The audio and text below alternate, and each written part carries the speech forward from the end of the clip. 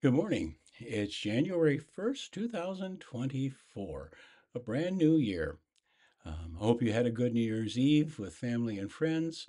Uh, we certainly did. We always get together with my brother and my sister and their spouses and playing cards and enjoy the evening. And most of us make it till midnight, and so we have a good time. Uh, reminder of a few things coming up this week on Wednesday night confirmation class at 7 o'clock at St. Paul's. Confirmands, do keep that in mind. Uh, worship services will flip this coming Sunday. St. Paul's will be at 8:30 and First Lutheran will be at 10:30. Also, we have Marilyn Keel's funeral this coming Saturday at 2:30 at St. Paul's. Visitation will be at the church um, from 1 o'clock until just before services. The service will be live streamed, so do keep that in mind if you aren't able to attend in person but would like to at least be a part of the service by watching on live stream. And that will be at First and St. Paul Lutheran Church's Facebook page. So I invite you to look that up. I think those are the announcements I want to touch on today. Uh, today, January 1st, is the feast of the name of Jesus. Jesus' name was given to both Mary and Joseph before he was born. And in Scripture, it is always important to pay attention to the names especially of those people who figure prominently in the various stories in the, in the Old and New Testament. The names often have a very important meaning to them. The name of Jesus, which is a, an anglicized version of the Greek translation of Jesus' name, which in Greek is Iesous, um, is um, the Greek's way of, of writing and speaking the name of Jesus in Hebrew. The name in Hebrew was Yeshua. And we find that today in the common name of Joshua. Joshua is what um, people would have known him as, although they would say Yeshua.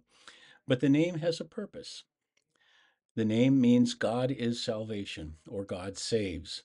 And so the name that the angels give to Mary, Mary and Joseph about the infant Jesus is his purpose to be our salvation. And so it's important that we pay attention because the name is always valuable. To be named is to be known, and to be known is to be remembered by God. And each one of us, our names, even though they may not have special meaning, are still important to God.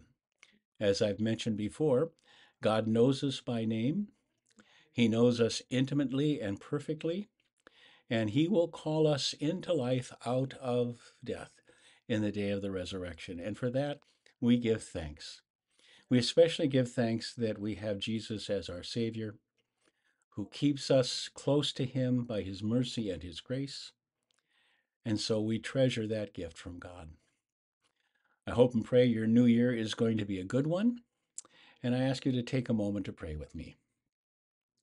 Heavenly Father, I give you thanks for the gift of your Son, Jesus, who has come among us to be our salvation, who by his dying and rising has set us free and made our names known to you.